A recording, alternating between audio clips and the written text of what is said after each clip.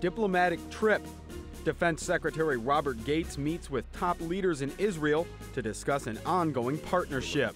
We'll have the latest. Medal of Honor. Pomp and circumstance at the Pentagon as Admiral Mike Mullen presides over commemoration celebrations. TRICARE coverage. DoD dependents leaving Japan in a hurry are getting a huge helping hand in healthcare.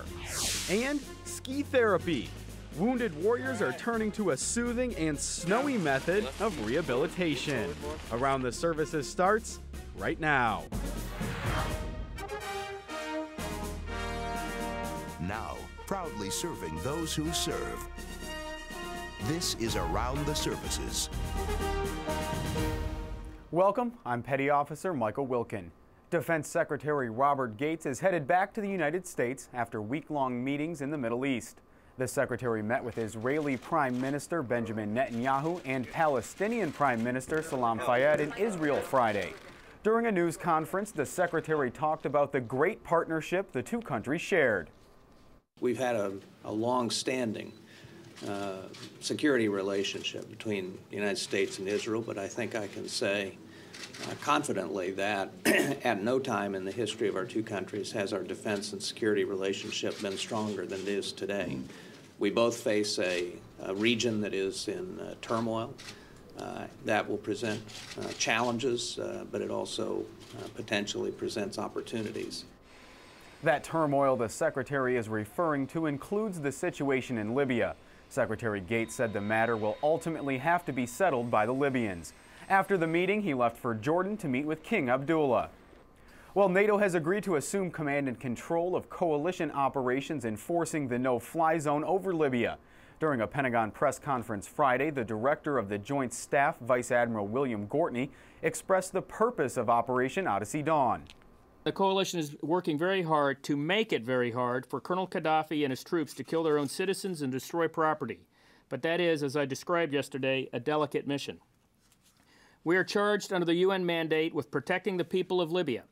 So nothing we do must put them at greater risk than the risk they faced at the hands of the Gaddafi regime. Secretary of State Hillary Clinton made the announcement late Thursday from Washington. She noted that the number of U.S. planes involved in the operation declined as aircraft from other partner nations ramped up. NATO Secretary General Anders Fogh Rasmussen said that a close partnership between NATO and its allies is crucial for the mission's success. We are taking action as part of the broad international effort to uh, protect civilians against the attacks by the Gaddafi regime. For more on the situation in Libya and Defense Secretary Gates' travels, you can head online to defense.gov. Now to our other top story, the 150th anniversary of the Medal of Honor. The chairman of the Joint Chiefs, Admiral Mike Mullen, commemorated the occasion during a special ceremony in the Pentagon's Hall of Heroes. Marine Sergeant Ashley Bryant takes us there. The Congressional Medal of Honor Society and Foundation marked the 150th anniversary of the medal here at the Pentagon's Hall of Heroes on Friday. Chairman of the Joint Chiefs of Staff, Admiral Mike Mullen, hosted the historic ceremony, recognizing the foundation and evolution of the medal itself, something he called iconic and quintessentially American. This medal was conceived amid the strife of the Civil War during one of the darkest chapters of our young nation's history and was signed into law by the leader most revered for saving it. And while the Medal of Honor's form and criteria have evolved somewhat from its early history, I would like to think that President Lincoln would be most pleased with what this singular honor stands for today. The services each presented a brief look at their own history with the Medal of Honor and took time to salute the medal's recipients and recognize the significant role the medal itself has played in military culture and heritage.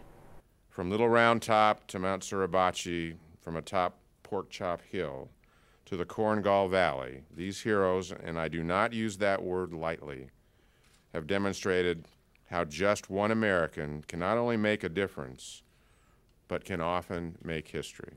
More than 30 Medal of Honor recipients, whom Admiral Mullen called the bravest of the brave, were on hand alongside senior military members, Pentagon officials, and civilian leaders to commemorate the Medal of Honor. What started as a rather obscure act of Congress and 150 years later has become one of the nation's most elite and revered symbols of military heroism. Reporting from the Pentagon, I'm Marine Sergeant Ashley Bryant. The Medal of Honor symbolizes the ultimate in bravery and valor, but many recipients say it's a huge responsibility to bear. Ahead in the show, we'll reflect on some of the challenges of being a Medal of Honor recipient. We're headed downrange for the latest news out of Afghanistan in just a few minutes, but first, let's go to the Pentagon Channel newsroom for the latest headlines.